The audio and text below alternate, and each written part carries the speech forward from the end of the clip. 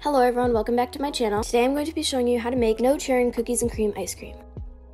First we can start by adding 2 cups of heavy whipping cream. After that we can add 1 teaspoon of vanilla. Also in my stand mixer I have the whisk attachment. Then we can whisk this mixture on high speed until it starts to thicken. You can also use an electric hand mixer for this.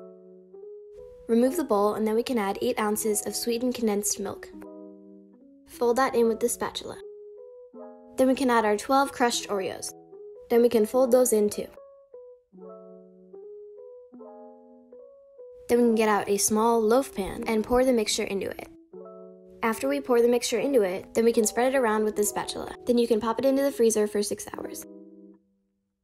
I hope you enjoyed this no churn ice cream recipe.